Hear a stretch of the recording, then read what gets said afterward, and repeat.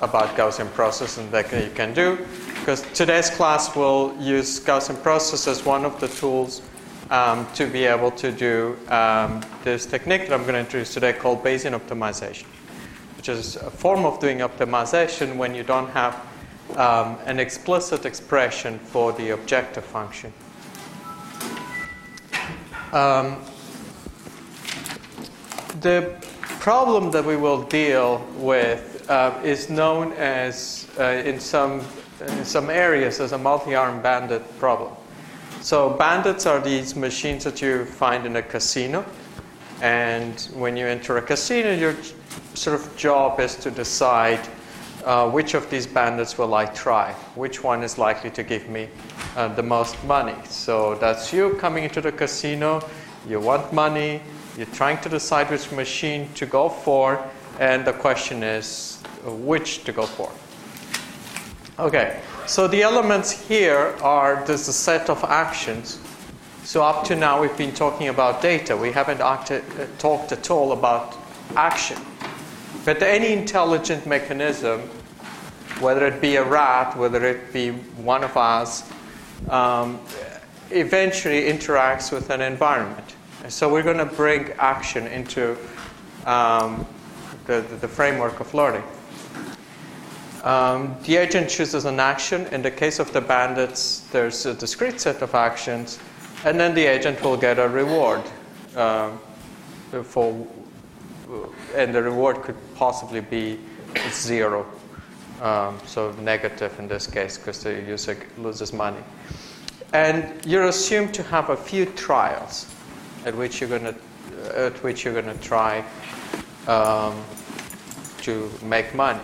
And those trials might be dictated by time, like you only have till 10 p.m. because that's when you have to go back home, or they're, they're dictated by budget, like I only have $20, so let me do the best, maximize return of money with those $20. Um, even in this simple scenario, one encounters something called the exploration exploitation dilemma. Um, if you've done well in a machine, okay, so you go in with your $20, oh, every dollar I put in is giving me a 100. That's awesome. Okay, so 20 times, do the calculation, 20 times 100, and you're to walk out rich with 2,000 bucks.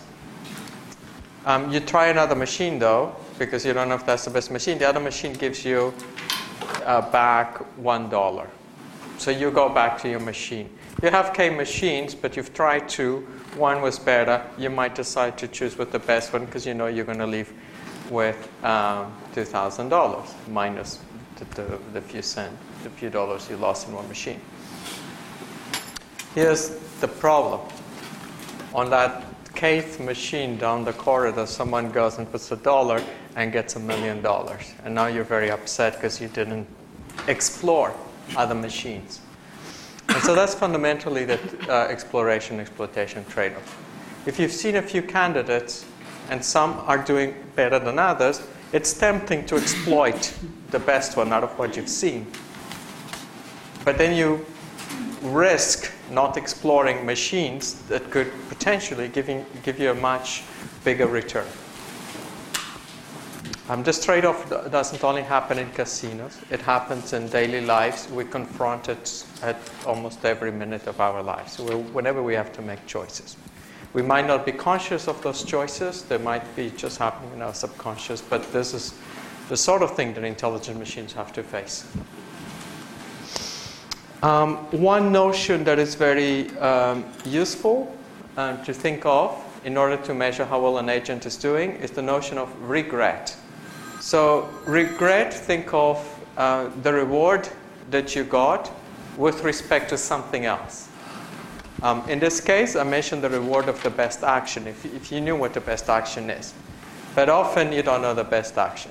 So for me, if I go to a, I, I, I've never gone to a casino and I hate casinos, but knowing probability, you know that you're wasting your time going to a casino. But let's assume in a hypothetical setting that I went to a casino then my notion of regret would be how much money did I make and you know how much money did my partner make. As long as I can make more money than her, I probably would feel good. Uh, that's basically regret. You, regret gives you a way of measuring your wealth with respect to someone else. Again, something we do all the time. We're always measuring our wealth against the wealth of our peers and so on. Um, this is how we're going to solve it in this class by using the tools of Gaussian processes. And I will use Gaussian processes throughout to deal with the problem of trading of exploration exploitation. Um, but it's possible to use other statistical models. I'll come to that at the end. But for now, we will just assume that we have Gaussian processes at our disposal because that's the technique we've learned so far. So it will be important to identify the following objects. There is a true, we will assume that there is a true reward function. Okay, there's a true, now let's think of the problem of bandits and let's imagine that we have many, many, many bandits so that each interval in the real line is a bandit. Okay. Assume that you have sort of a true reward for the bandits. Okay? And that true objective over here is the dashed line in the figure. Okay? So there is a true cost function. There is so much reward that each bandit is going to return to you, and that's the person that works in the casino has set that for you. Right? She has experience. She actually does design algorithms for casinos. Um, so if you know that function, uh, of course, the people who design it know the function, but we that go into the casino don't know that function.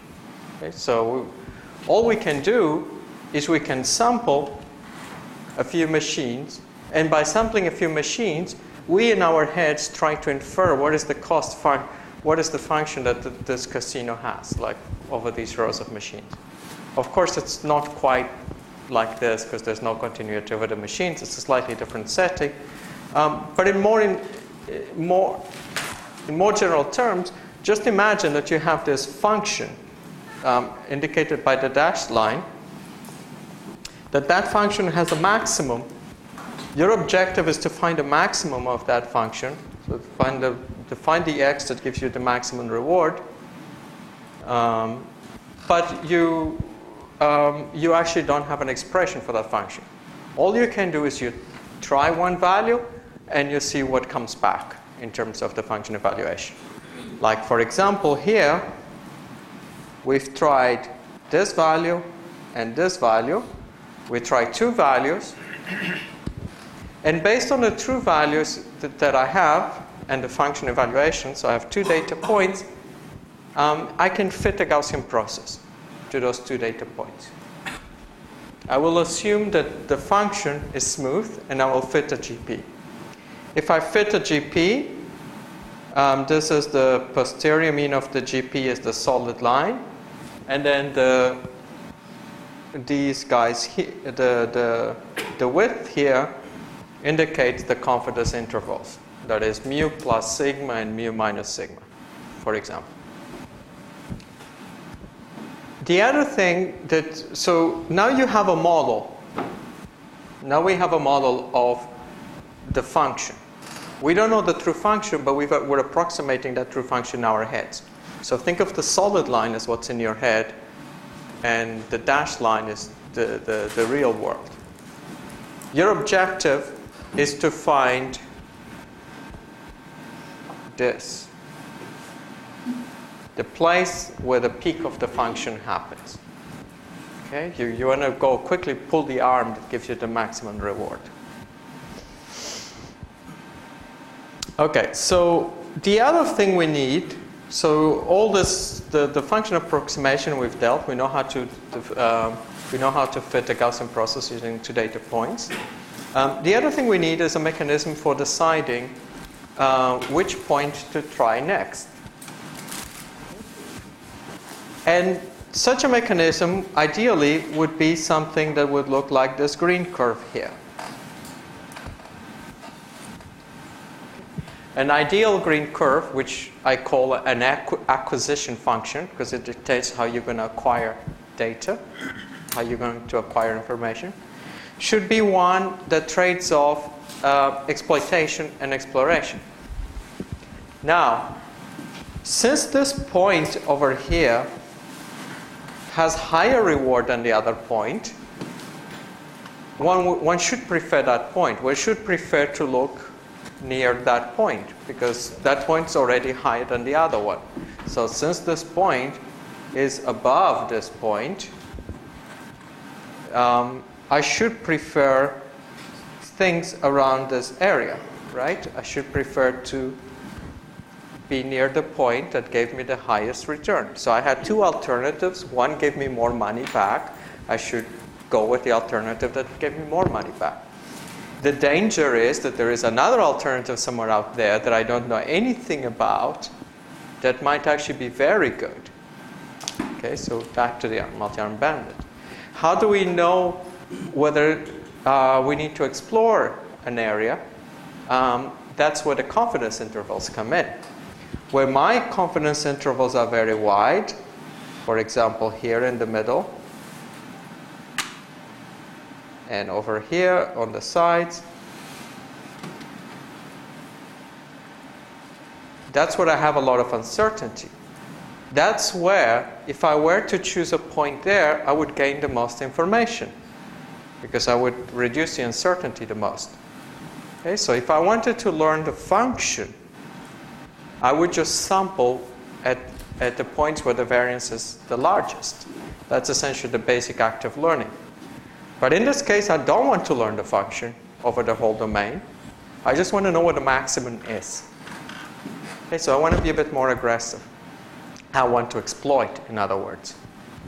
And if I want to exploit and I want to explore, there's this fundamental trade off.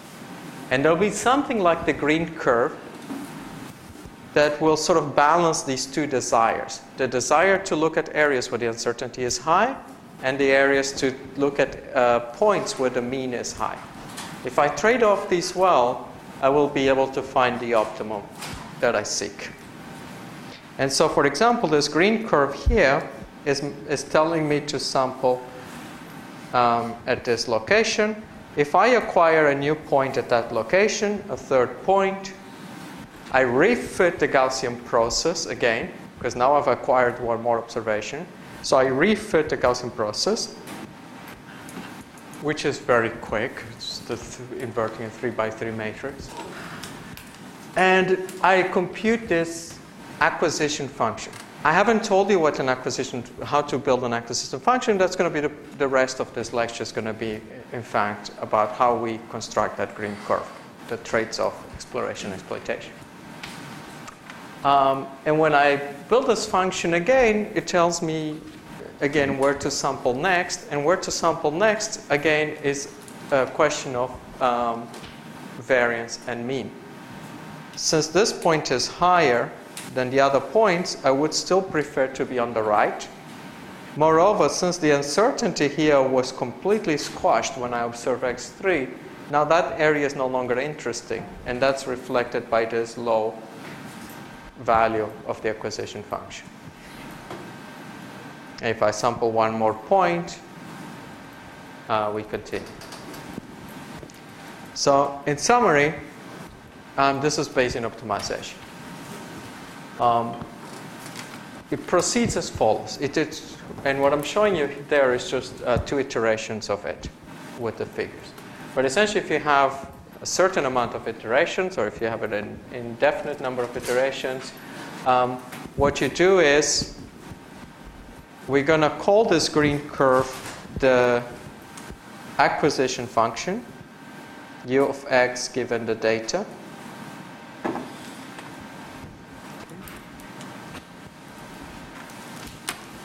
And we're going to choose the x that maximizes that acquisition function. And the data here would be, in this case, would be x1 and y1 so and x2 and y2. So we've observed two x's and two y's. And the next step, step three, is once I've chosen a new x, I just evaluate it. In other words, I try the x and out comes back and the function evaluation with some noise, uh, with some noise, say epsilon. And then I simply augment the data set with more data with the new point x and y, and I repeat the process. Okay, so provided I know this green function u, all I need to do is I keep doing this sort of thing. I, I, I, I start with two points. Uh, this u function will tell me what next point to try. I try that point. I add that point to my set of points. So now I have three points. I fit a GP. I recompute u. And then I use u to select the next point and so on. So if I just iterate the process of fitting the GP, recomputing u, maximizing u, um, I'll be done. I will get to the optimal with some guarantees. Okay? The rest of the lecture is just going into the individual components of this big picture. Um, good place to ask questions. By the way, this lecture is about active learning. One thing that I can prove to you theoretically is if you ask questions, you do better. Uh, can you adjust how, um, how much you want to explore or, or explore? Yes. We will come to that question, how to adjust the, uh, how aggressive you want to be about exploiting or exploring. Seems like the GP will always have more variance in the extremal points, like from extremal points to getting out of the functions. That has to be extrapolated, right? So this, That- this cost function, I mean this uh, sample objective function will be kind of biased to getting points there minimize that variance. That's correct. Where you are away in the interval, that's where you would you will always have high variance there. But it's not just variance that matters. Uh, the value of the mean also matters. So I, I will illustrate with you with some pictures where the variance really is not going to be. The variance won't kill us because we're also caring about exploiting. If I get a point in the middle that is much higher than my points in the boundary, I'll probably not visit the boundary. But that, indeed, in some cases, it can cause problems. So you're absolutely right. Is picking the max of the exploration function always the best plan if you know it's going to take a number of guesses to get to the result? Like, what I mean is, it's kind of greedy what we're doing, right? We, we take the peak and then we take a new peak and then a new peak. And if we know it's going to take us roughly 10 to get there, can we do better by planning our 10 out ahead of time? Yes, because you know about maximum expected utility and planning ahead. So um, I actually had a slide on that, and I decided to take that slide out because I didn't want to confuse people. But yes, if if you're in a, you're, he's talking about being myopic in decision making versus taking many steps ahead. So if you know how your rewards over time are somewhat related, and it's not always the case that we do know that actually. But in some cases, we do know how rewards over time are related. And in such situations, um, you should plan ahead many steps. You know, you should plan not just what to do now, but what to do if, if I did this today, then what options would be available to me tomorrow and the day after tomorrow, and so on. So that, uh, that setting is the setting of a Markov decision process. And in some simple cases can be solved via dynamic programming, which is which you learned about in 340. It's very much like in what you do uh, when you do inference in an HMM. And um, but that also comes with a cost. Um, even when you can do dynamic programming, it's extremely expensive. Um, so often we will use these techniques to make a decision um, so that you can solve a, a problem. Now, if you spend too much time thinking about that decision, you might never get down to solve the problem. So sometimes it does pay off to not make the best choice, but actually make steps towards solving the problem.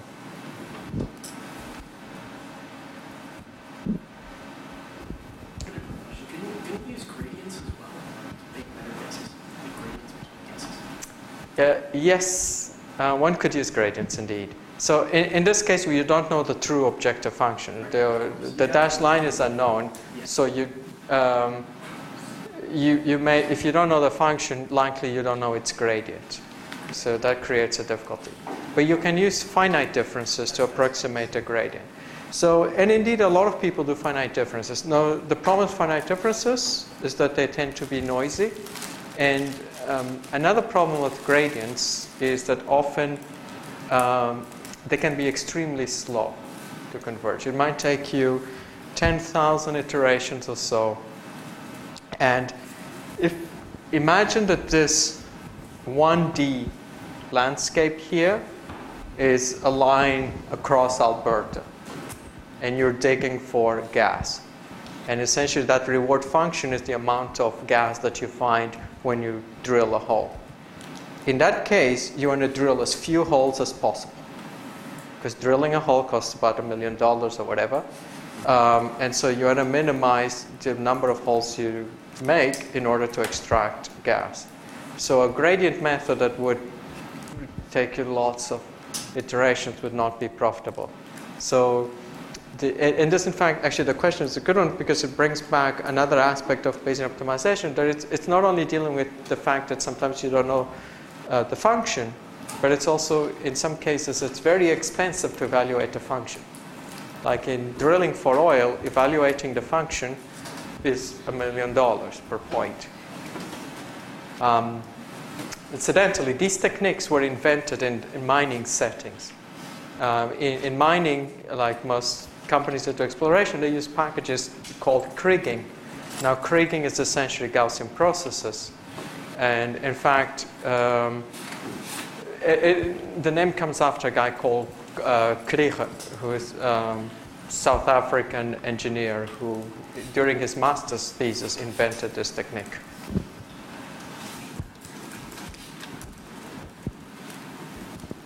Okay, and here looking for the minimum. I mean, the just like you can look for the maximum, you can also look for the minimum of a function. It's just the, it's the same problem, really. And so as you can see here, we're trading off in this animation. We're trading off exploration, exploitation, and eventually we kind of locate the optimum. The true function here is the blue function. And one of the things that this illustrates is that to find the minimum, you don't need to know the whole of the blue function. You don't need to visit the entire blue function in order to find a minimum. Okay, so from the previous class, we know the expression of uh, the, the expressions for a Gaussian process. We know that if you want to make a prediction, that is, if we have some data set and we have a new test point our prediction test our prediction um, is Gaussian and it has two statistics. It has a, a mean statistic and it has a variance. Um, so if you know the mean and the variance, you know everything there is to know about the prediction y. Now, all we need in order to trade off exploration exploitation is know this mean and this variance. Where the mean is high, if you're doing maximization, where the mean is high, you're likely to do well. But you're also likely to do well where the variance is large, because that's where you need to, that's, those are areas that are uh, hardly explored and likely to be profitable. And so, one way you could balance this trade off is by simply having an acquisition function defined to be uh, the mean plus a constant times the variance, right? Because such a function, to maximize such a function, you would need to pick an x that makes the mean large, but also an x that makes the variance large. If you think the variance is more important, that is, if you think that exploring is more important, you would choose a trade off parameter, in this case kappa, as to be very large. If you think the mean is more important, you would choose a small kappa, say 0.01. It's, this is the simplest way to do it. Um, the, it. It's problematic for some reasons I will mention soon, but the, this would be the easiest way to go about it. um, since we're doing optimization, you may ask, oh, hang on, Nando, but didn't you just replace an optimization problem for another one? Because now we need to find the x that maximizes mu of x plus kappa sigma of x. Now, why isn't this problematic?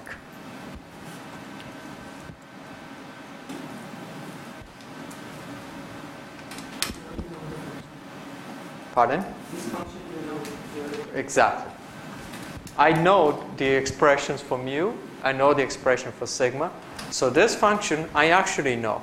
And if I know the function, if I have a mathematical form for the function, it's easy to just throw at it any um, function optimizing. And I say easy because optimization is still a hard problem.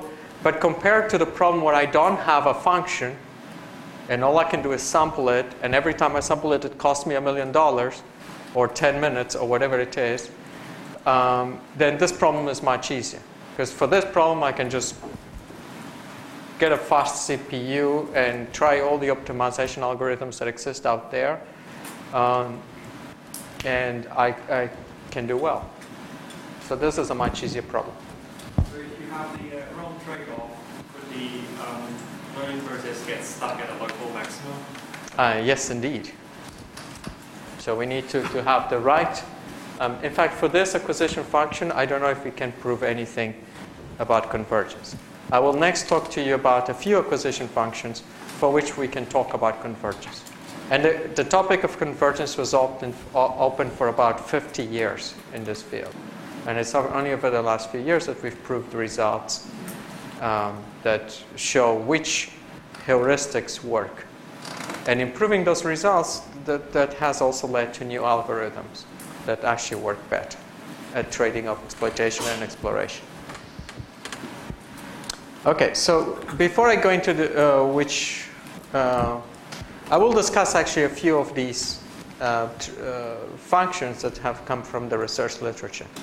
Um, now, the acquisition function, it's also known as the infill function. It's um, in statistics and experimental design. It's called the figure of merit. Or, and by the way, when you design experiments, you design an experiment to get data. An experiment is an action that returns data. Okay, so th- this whole framework encapsulates the problem of designing experiments. Um, so as I said, the acquisition function tells you which point to sample next, or which experiment to, ru- uh, to run, or which question to ask. It trades off exploration and exploitation, um, and it's easy to do compared to the original problem. And here are some examples. So if this is my GP here, over here I have four points, four data points. Um, what I'm showing you below are three um, different acquisition functions that people use a lot in the literature. And I will go over these um, one by one and explain to you how they work. They do tend to pick the same points. Some are more aggressive towards where the mean is high, like this one here. Um, some are more aggressive toward, you know, where the, both the mean is high and the variance is large. Some like points where the variance is very high. Okay, so there's different, and they themselves are parameterized by a parameter. Um, and so we're going to study each of these now in turn. Okay, so the first one is called the probability of improvement. What's the idea of the probability of improvement? Um, we're going to assume that we've sampled the function um, in this drawing at two points.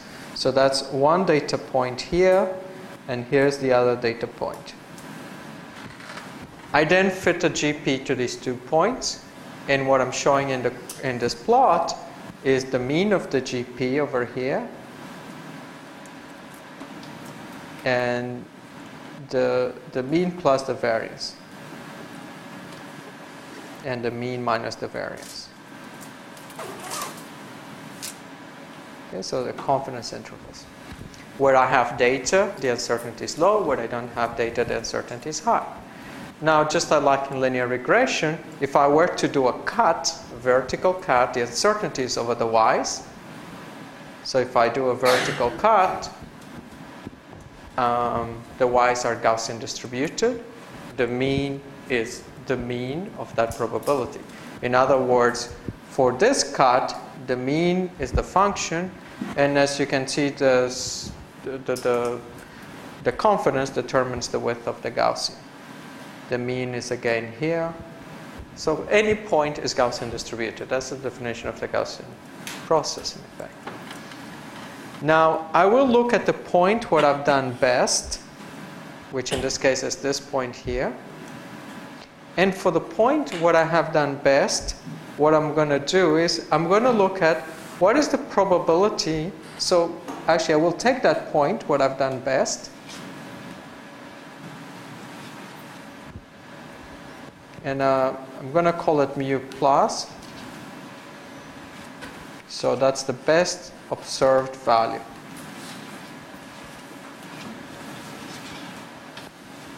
It's the highest observed value of the function that I have. And then I'm going to add to it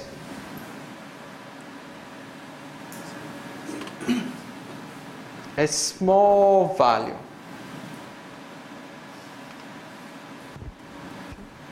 I will explain to you what that small value does. And for now, imagine that that small value is so small that it's zero. So you can erase it from your minds. Um, in which case f max is essentially mu plus, the best observed value so far. Okay, so that's the point out of observed. And so f max would be mu plus. Then the criterion that I'm going to use for exploitation and exploration will be to look at the area under the curve of the Gaussian that has width implied by sigma and that is located at the mean. Okay? Because if I have a Gaussian, so if I had a Gaussian here,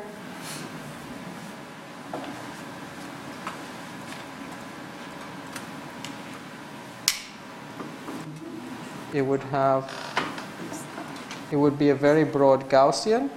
The mean would be the center. And then this tail here, the area under this tail, that's what I would use. That's the value that I would use as the acquisition function.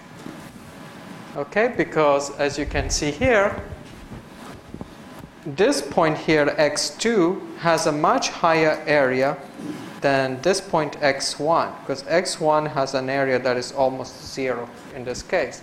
So, so using the cumulative area under the Gaussian at any point seems to be a good heuristic because essentially points that are higher up or that have high variance will be preferred over the other points. In other words, x2 is preferred to x1, and in this case, x3 would be preferred to x1.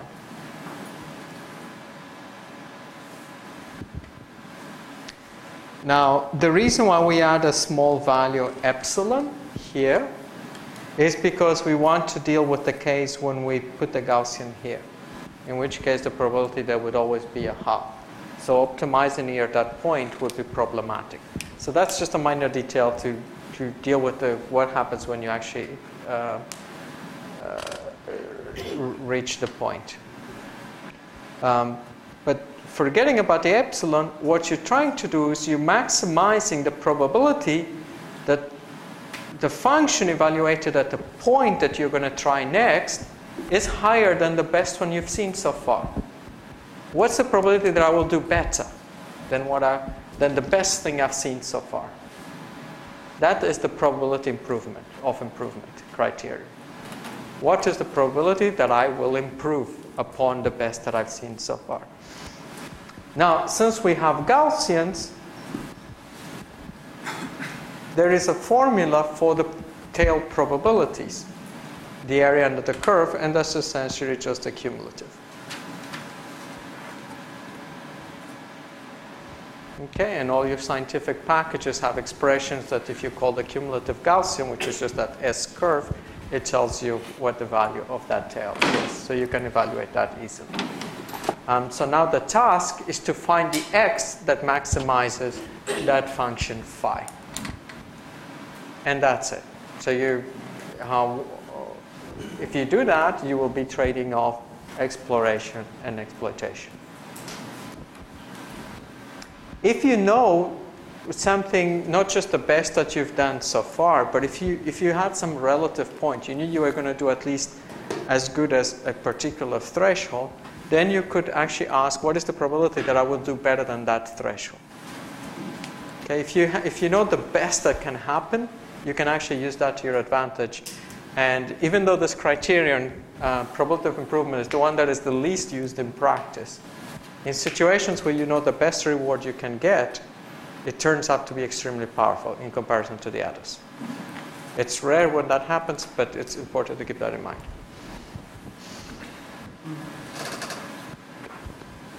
Go ahead. We can also just explore that, let's say we don't know what is the best we can get, but we can just start exploring that this is maybe what we can get. And Sorry? Can you? so you're saying if we know what is the best value we can get, I mean the best possible mu, mu plus, right? But let's say we don't know that, but we can just start exploring assuming this is the Oh, oh, value. indeed. Sorry, maybe I didn't explain this clearly. So in this case, we've, I ha- we have explored. We tried two points. So far, I, ha- I have drilled two holes already. And in the hole that gave me the most oil, that's the one that I'm calling mu plus. The, the, the amount of oil that I got out of that hole. So mu plus, in this case, is this.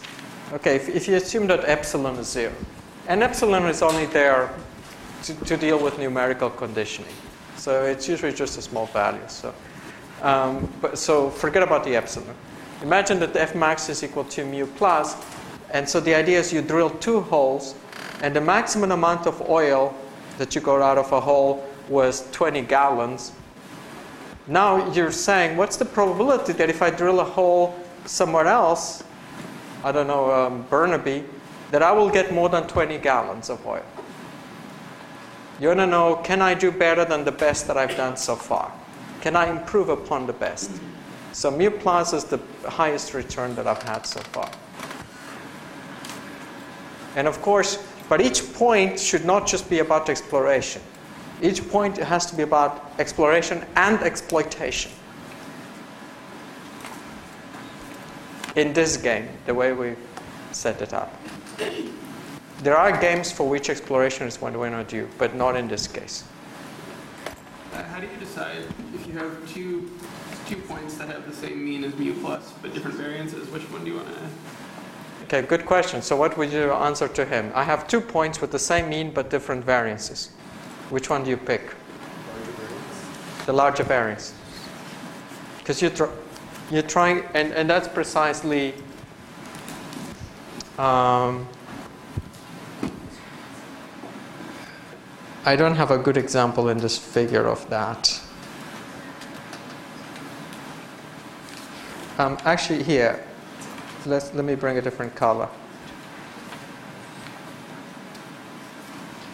Uh, points of equal height. So let's say this point here has equal mean, more or less. So these two points here have equal height, equal mean, but this point has much higher variance than this one. So under this criterion, when I draw the Gaussian, I will I have a much fatter Gaussian. Over here, I have a narrow Gaussian. And if I look at the area under the curve after mu plus, this one will have a much larger area than this area here because it's a fatter Gaussian. So if it has higher variance, it will have higher probability of improvement. And what if both of those means were the same height as mu plus? Um, if both of the means were at the same height as mu plus, again, it depends on the question of variance. If, if two, two means had high variance, I would prefer those over mu plus. With the means being equal, I pick the point of highest variance. With the variances being equal, I pick the point of highest um, mean. Because I'm trying to maximize both things. I'm trying to maximize variance and I'm trying to maximize mean. Because the uh, cumulative function is monotonic, does that mean that it's equivalent to maximizing the um, expression inside it? So it's equivalent to maximizing the. The expression inside the um, cumulative? In this case, it is true. Yes. Good observation, actually.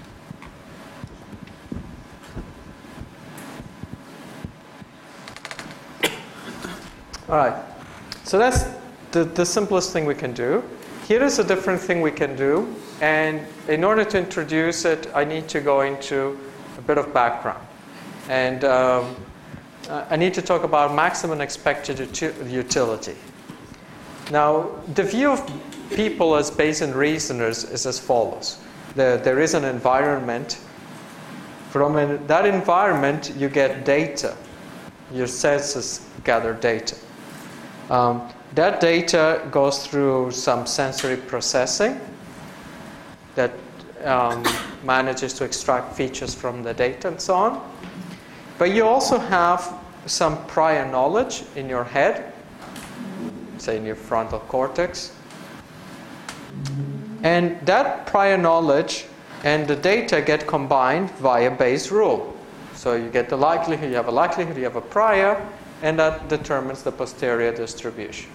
Okay? So we've, we've seen how to do this. Given data and give it some prior knowledge, uh, where the prior knowledge was, say, preference for uh, functions to be smooth, we were able to derive posterior distributions.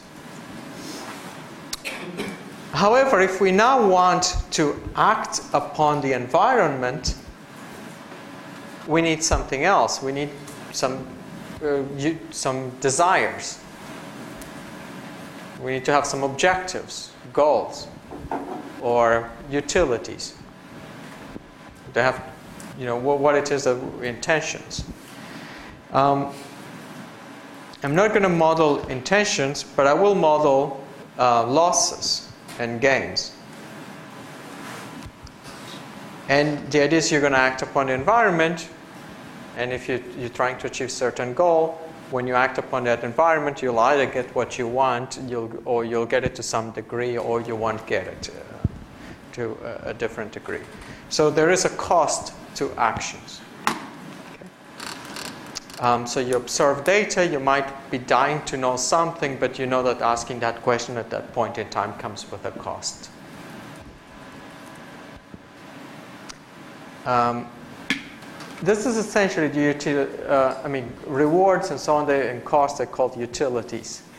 And this is, uh, in essence, the what people refer to as the utilitarian view of decision making. So, in order to make the right decision, and that uncertainty, um, we need two components.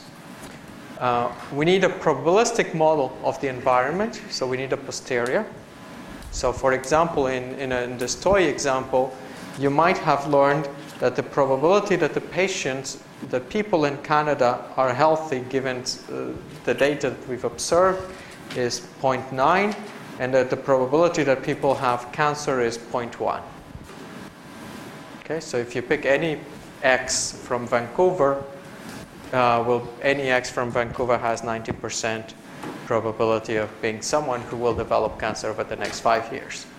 Okay, and that you can estimate um, from uh, doing a census. We will also assume that we have a government that is in debt, which is not too hard to assume in our case, and that they trying to um, minimize costs. And so they now get together and have a meeting, many discussions, NDP fights with the liberals, etc., and they come up with the following table. This table says that if a patient is healthy and you don't treat the patient, so the action here is whether you treat or don't treat the patient. If you don't treat a healthy patient, there's no cost. But if you take a healthy patient and you treat her, there is a cost, right? Because you're now using your hospital resources to deal with a patient that shouldn't be admitted to hospital, who's just probably being a hypochondriac or whatever. If, on the other hand, you have a patient who indeed has cancer and you don't treat that patient, then you know that's a big cost because you know the NDP has found not to have turned away all the patients that had cancer and not offered treatment, and most likely they won't be re-elected at the next election. So they value that cost as minus 100 per patient. On the other hand, if they have a patient that has cancer and they decide to treat the patient, that also costs the NDP because they're wasting, from their perspective, $20 on this individual or 20 units, whatever the units are. You know, it, it, you have to spend, you have to hire nurses and so on, and because you're hiring nurses, that means you no longer have this other money that you can show off for, for some other task that will allow you to win the next election. So essentially, there is a sort of uh, function that for all possible states x and for all actions um, gives you a number that's essentially the reward, equivalently the cost. The, the utilitarian view is to maximize the costs weighted by their probability. So, in other words, if you want to choose the best action, the best action should be um, decided by the cost of each action weighted by the probability. Okay, so for example, in this case, if you want to know what's the expected utility of a treatment, you would go, well, that's going to be the utility of, um, in this case, the utility has two arguments the state of the patient, and we're considering the action treatment. So if the patient is healthy and you do a treatment, you need to weight that by the probability that the patient is healthy.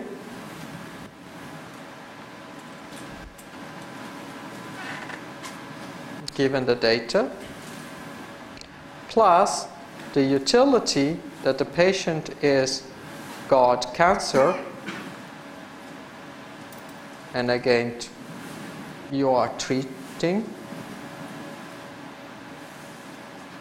weighted by the probability of cancer given the date.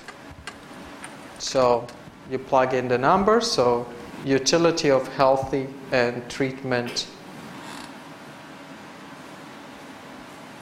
healthy and treatment is minus 30 you multiply that by the probability of the patient being healthy, which is 0.9. You add to it the utility of cancer and treatment, which is minus 20. So this number here, cancer and treatment. And you weight that by the probability of cancer, which is 0.1. That will give you a number. And I will leave it to you as an exercise to calculate that number. And as well as an exercise for office hours to get the other utility. So you, you now compute the expected utility of treating and the expected utility of not treating. And then you decide what to do based on those. If the expected value of treating is higher than the expected value of not treating, you treat. Um, uh, otherwise, you don't treat. And that's how a decision now, because essentially you need to consider your costs, but you need to weight the cost by how likely that setting is.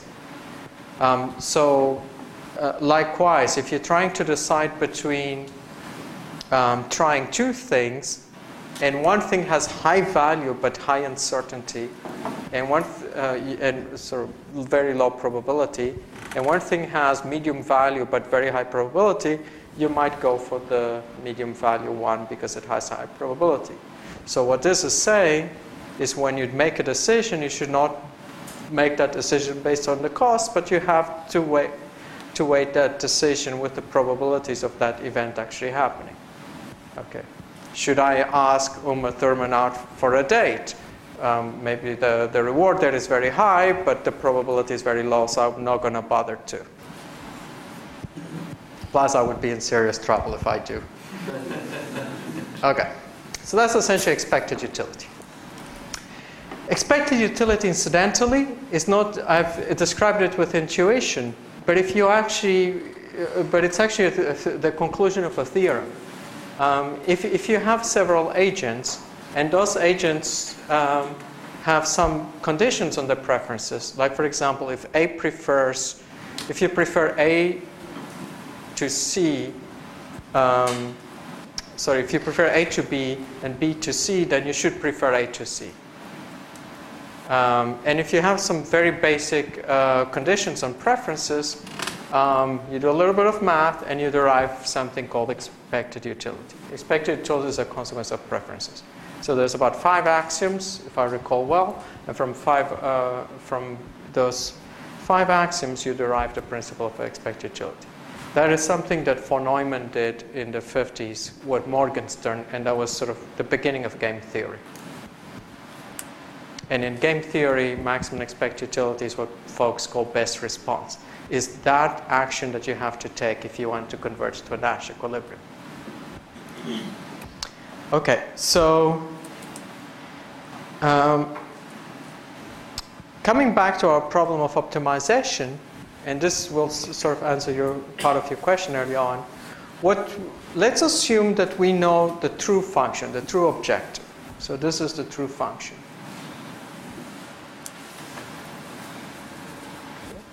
If we know the true function, let's assume that x star, x star is the location of the maximum.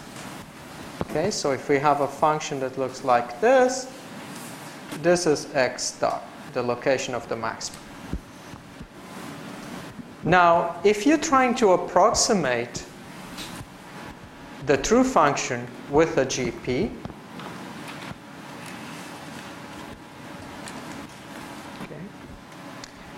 then what you would want to do is you want for all the functions that you could sample, for all the functions you could sample from a GP, and we've seen that from a GP you actually can sample many functions, as many as you want. For all those functions you could sample over GP, so integrating over those functions. So in this case, we're doing maximum expected utility. The state is the function. We need to sum. Before the state was whether you are healthy or whether you had cancer. Now the state is actually infinite. It's all the possible functions that could come from a GP. So we need to weight by all the possible functions. And our action is to choose the point x. So we're trying to find what is the point x that would minimize, regardless of what the GP function is, what is the point x that would minimize the difference between that function and the, and the actual true function? Yes? That's essentially what we want. We will, because once we can pick this point, we can, so regardless, so what we're saying by integrating over f is that regardless of what that f is, we want to find a point that will bring us close to x star. Okay, because if the function has the same height as if that difference is zero, that means that whatever function we got out of the GP has the same height as that function. Or if you expand this, an expectation is just an integral with respect to a distribution. That is essentially the posterior of the GP, and we want to minimize this difference. Now, of course, the catch here is that we don't know the true function. If we knew the true function, we could just optimize this directly. but we don't know the true function. We don't know the location of the optimum. So instead, when we do maximum expected utility, uh, we do different things like probability improvement or this new criterion that I'm introducing here that's called the, uh, the expected, uh, that's called the ex- expected improvement criteria. So this goes back to um, a guy called Mockus, and it goes as follows. It's very similar to what we had with probability of improvement, but what he wanted to do was to find the x such that f is likely at, evaluated at that x will do better than the max value that you have so far. So instead of talking about probability of improvement, he wanted to do the maximum expected improvement.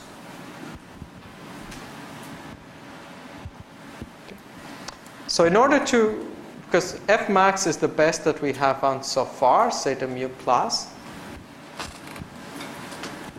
and we typically add to the mu plus just a small number epsilon. And so you want to do better than that, the best that you've seen,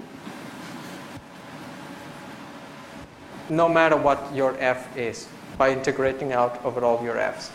So integrating out over all functions seems to be something that would be crazy to do computationally, but in this case, because we have a Gaussian process, everything is analytical, so we can actually solve this integral analytically, and that gives us this following expression here, which we call the expected improvement.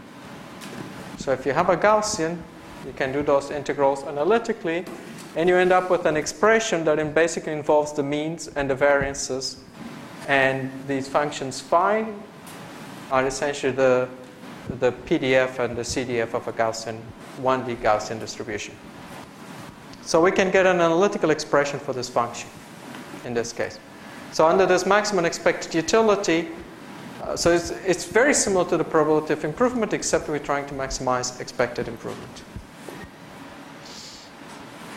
Okay, and a third way of doing this is the following. You define a notion called regret.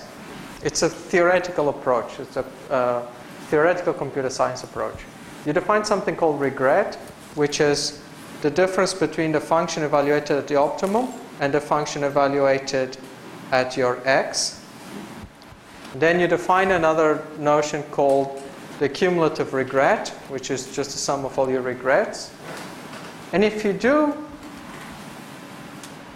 a bit of theory, which I don't cover in this course, which I would cover in a machine graduate machine learning course two, if we had it, um, you can derive the trade-off between the mean and the variance. But it's not a constant. It the theory predicts that it will be something that increases uh, as log t. Okay. Now, proving this is several pages. I'm not going to go over it, it in this class. Uh, but this is, uh, we'll just mention the, what the criterion is. If you try this criterion in practice, it's actually very easy. The previous criterion, on the other, other hand, is very easy to prove. So I might give this to you as an, a homework exercise to just do that integral and convince yourself that you arrive at that result. This one, on the other hand, requires work. If the set of points is not infinite, but you actually happen to know the horizon, you would get a different value of beta as well.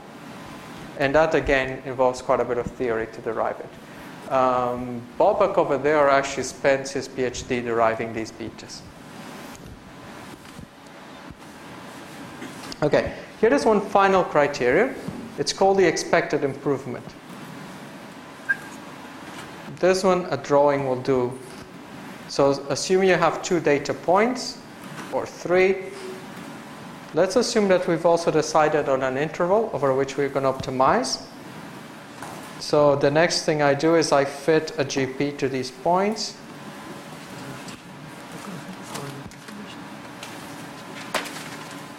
I get the confidence intervals.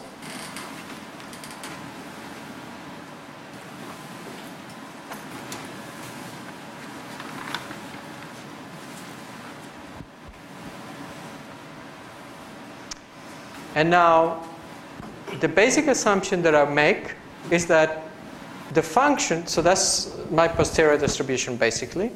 And so the assumption that I make is that all the functions that I would sample from this with very high probability would be inside the two green lines. So if I were to sample a function, it has it would be between the two green lines because I've said that that's where most of the probability is. So I can say with very high confidence, 95% confidence, that if I draw a function, it will be a function in those intervals. Um, I can say this theoretically, I can say this more formally. But now let's just use the intuition. Now what I can do is I can draw a function at random, like we've done before, and then the next step is I choose the location of the maximum. I optimize that function. If I optimize that function, I get this is the point to try next.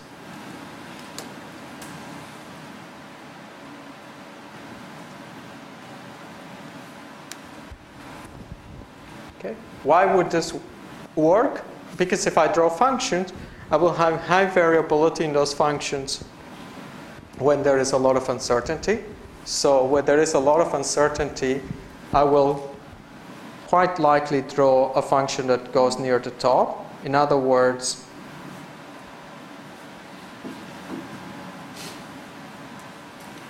there is significant probability that the function that I draw might be high where there's high uncertainty.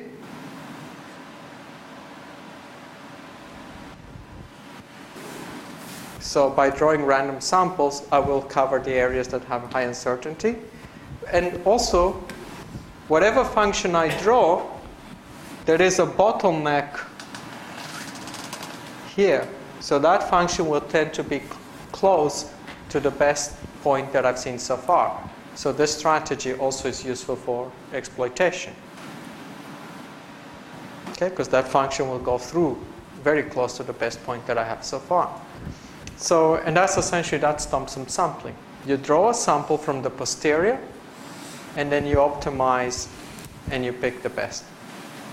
Now, I'm doing it here in the context of uh, Gaussian processes, but in the Google group, I shared a document that is about what folks do at Google Analytics, and they use exactly this technique, Thompson sampling, in order to make decisions. Uh, can you explain why won't you pick the next point as the one that corresponds to the highest uncertainty? The highest uncertainty? Uncertainty, yeah. Why I wouldn't want to do that? Oh, because then I would just be learning the, because then I would just be wasting effort. Um, I'm learning the function, I would be learning, my objective is to learn the location of, say, the maximum or the minimum. But I don't need to know the entire function. So to know an entire function, I would have to sample it. Uh, you are correct I would have to sample it where the variance is largest. I would just be exploring essentially. But my objective is to minimize the number of exploration steps. I just want to find a place that will give me the most oil. And so in that case, I don't want to just be exploring everywhere. I want to focus my resources in exploiting.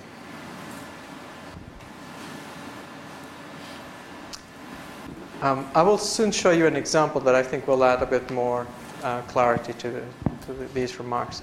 So in summary, there's about there's a bunch of uh, improvement functions. There's probability of improvement, expected improvement. There's um, up, there's this other one that um, that I mentioned but didn't derive called upper confidence bounds. Um, there's Thompson sampling. They all sort of do similar things. Um, when you implement code uh, to do Bayesian optimization, I actually recommend that you try more than one. Because some tend to be more greedy than others. And what this figure shows here is uh, three runs on the same function using uh, UCB, probability of improvement, and expected improvement. And as you can see, um, these two tend to be very similar. Expect improvement and UCB tend to do um, similarly. Probability of improvement does worse. But again, I remind you that if you do know the maximum that the function can attain, probability of improvement will do much better than these two alternatives. Thompson sampling will do very similar to, to expected improvement. Um, in some cases, like when you don't have Gaussian, but instead you have Bernoulli variables, so you have independent arms. When you're dis- displaying ads, uh, for example, in Facebook, um, then um, and then the reward is whether the, the individual clicked or didn't click on the ad.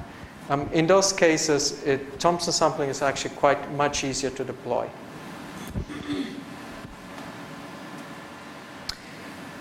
You can also do the following, which uh, one of my grad students, Matt, who you will get to meet because he will teach one, one lecture for this course while I'm away, um, he's actually played with having portfolios of these three acquisition functions. So his game was that, well, I don't know whether to do expected improvement or probability of improvement or UCB. Moreover, I don't know how to set that epsilon. So therefore, what I should do is introduce a new hierarchy in the decision-making process and choose among those uh, three. And when he did this, he got much better results. And if you want to play with this in a project, then Matt would be the person to talk to. Okay, now let's go back to this question of the variance. Um, and let's look at the GP here, where again I have some data points. I've collected these um, five data points. I have um, the mean of the GP here, mu. I have here mu plus some constant times the variance, and the mean minus some constant times the variance. Now let's assume again that with high probability any function is captured by this GP. So any function would be between uh, these two dashed lines. For example, the red line. If that is true, and if our objective is to find the maximum of the function, which in this case occurs when the function has this value, then note one thing. This is the highest point. If let's look at the lower bound.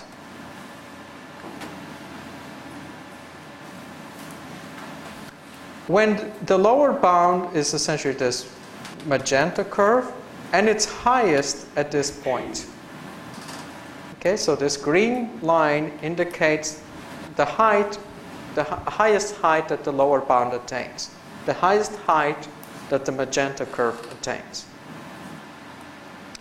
Now, the black line is an upper bound. The upper bound essentially says it's the best I can do for any x. But if the best I can do is lower than the worst that I can do, there is no point in trying that point, so to speak. Okay? So whenever you're below the lower bound for something that you've already tried, then it's not worth trying exploring there because you will not do better than what you already have. The consequence of this is that everywhere where the black curve is below the green line, we can just ignore. Even though there is regions, coming back to your question, even though there's regions of high variance there, I know it's pointless to explore there. This is essentially uh, something that we call probabilist. Uh, uh, we call this branch and bound. It's a very important heuristic in computer science, and it's the heuristic that a lot of uh, mixed integer programming solvers use, um, which can be used to solve numerous scheduling problems like in society, a lot of things when you're doing bookings with aeroplanes and so on, there is an algorithm that's being run that is solving um, that scheduling problem for you, and it's essentially using branch and bound. The difference with standard branch and bound is that this is a probabilistic branch and bound. We only have probabilistic guarantees here. With some, there's a probability of failure. There's a delta probability that your function might be outside the, these two intervals, in which case this would fail. But what you can do is you can give a very high guarantee, probabilistic guarantee, that you can ignore this space and still find the optimum. Um, when when Masrour and I, we actually set to prove some theoretical results for this, and this was the basis of, of the proof. Um, the first part was to show that indeed, by, under these assumptions on the Gaussian processes, a lot of the space would be, disappear. We could ignore a lot of the space. And then we just needed to focus on a small region of the space where we could study the local convergence of that process. And Masrour came up with some very interesting differential equations that describe the behavior um, of the function in that vicinity. Okay, so that for the rest, what I want to tell you the next six minutes that we have left is just show you a bunch of applications. So I'll, in the last class, I already showed you the application in animation, where you, and, and here is another application where let's assume that what you have in your mind, let's assume that this is what the animator has in mind. So there's, um, I don't know, the animator is here, and this is what she's thinking about. She wants to create um, a BRDF, which I don't know, you, know, your graphics people in the audience would know. You want to create a ball that has this, the right illumination. That involves tuning six parameters, um, but she never went to a graphics class, has no idea what a BRDF is. All she has is six numbers, and it's counterintuitive how to tune them. So, what's better is if we then show to her two images and we ask her which one is better. So, at iteration one, she says, I like this one better than the left, better than the right. At iteration two, she says, I like this one better. And by doing that over four iterations, we're able to find out what it is that she's thinking about in her head, and we're able to deliver that to her.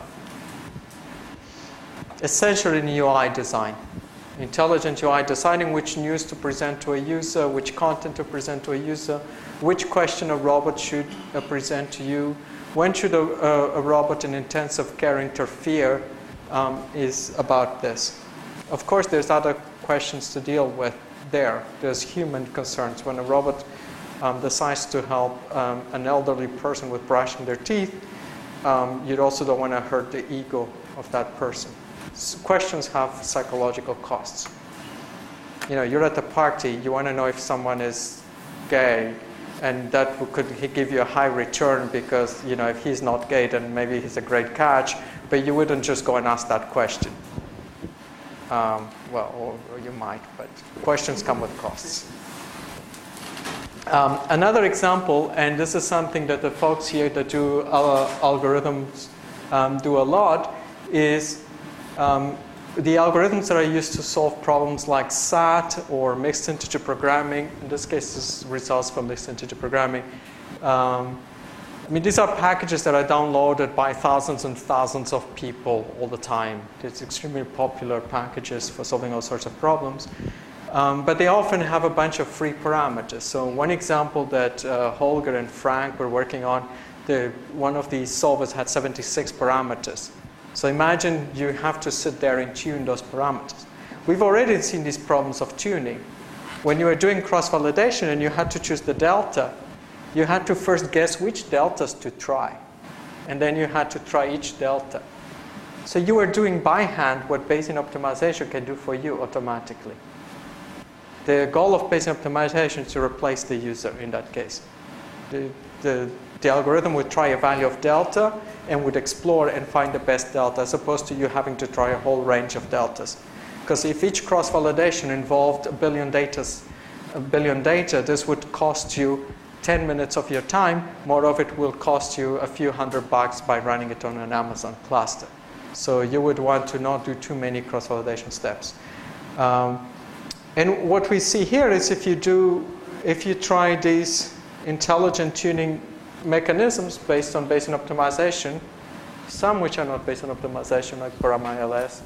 Uh, uh, SMAC is a version of Bayesian optimization which doesn't use um, Gaussian processes, but it uses random forests, which I will tell you about next week instead.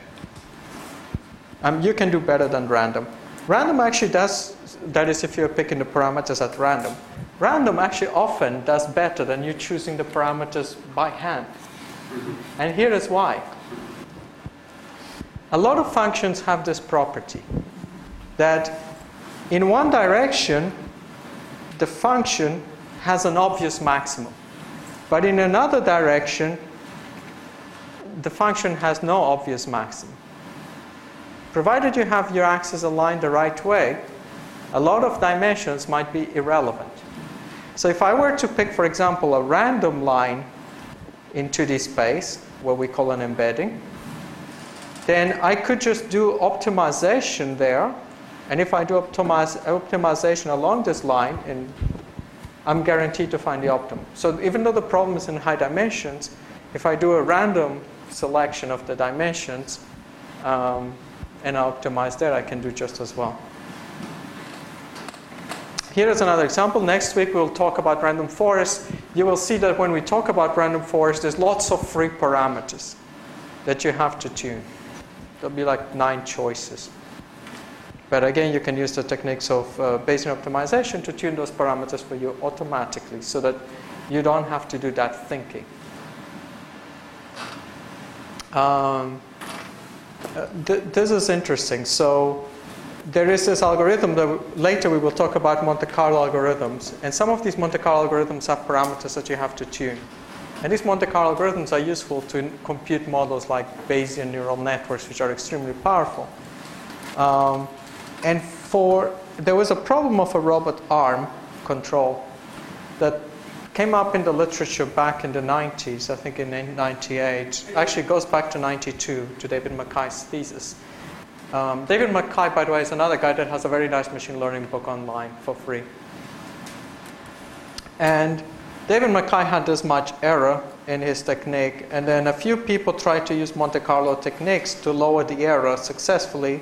I spent three years in my PhD thesis to get this error.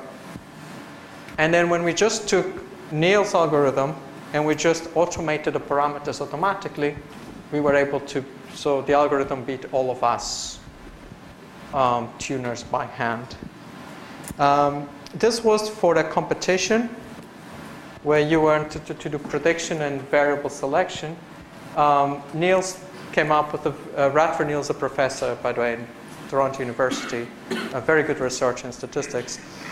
And he came up with this Bayesian neural network that achieved this much error, and he, obviously he tuned it so that it, he would win the competition.